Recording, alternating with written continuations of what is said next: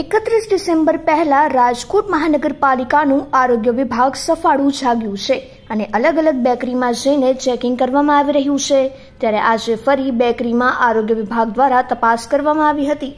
ત્રીસ જેટલી બેકરીમાં આજે તપાસ કરવામાં આવી, જેમાં દસ ધંધાર્થીઓને લાયસન્સ બાબતે નોટિસ ફટકારવામાં આવી, તેમજ પંદર જેટલા ખાદ્ય ચીજના નમૂના લેવામાં આવ્યા છે.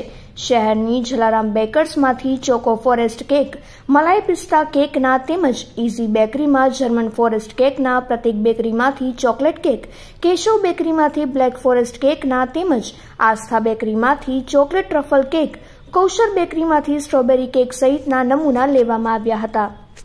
ડૉક્ટર જયસ્વકણી આરોગ્ય અધિકારી રાજકોટ મહાનગરપાલિકા, જે ખાસ કરીને એકત્રીસ ડિસેમ્બર એટલે કે ન્યૂ યરની સેલિબ્રેશન ઉપરાંત જે ક્રિસમસ એના સેલિબ્રેશનના ભાગ સ્વરૂપે ખાસ કરીને બેકરી આઇટમ્સ છે, કેક છે, પેસ્ટ્રીઝ છે, એના વેચાણમાં ઘણો વધારો નોંધાતો હોય છે.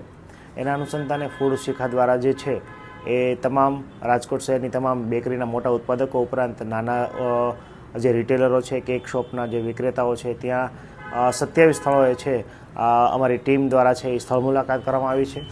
તમામને ત્યાં હાઇજીન બાબતે લાઇસન્સ બાબતે વગેરેની જે ચકાસણી કરવામાં આવી છે. આ ઉપરાંત સત્તર જેટલા સેમ્પલ છે લેવામાં આવ્યા છે.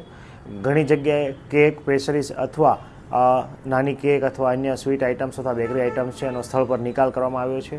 આ ઉપરાંત સત્તર જેટલા સેમ્પલ છે એ લેવામાં આવ્યા છે. એ ખાસ કરીને આપણે આમના નમૂના છે લેબોરેટરી ખાતે મોકલતા હોય છે. નમૂના જે સેમ્પલ છે એ અનહાઇજેનિક અથવા મિસબ્રાન્ડેડ અથવા સબસ્ટાન્ડર્ડ થઈને આવશે, તો એજ્યુડિકેશન જે ઉપરાંત ફોજદારી ગુનાઓ છે એની આગળ ઉપર કાર્યવાહી છે નિયમ મુજબ કરવામાં આવશે.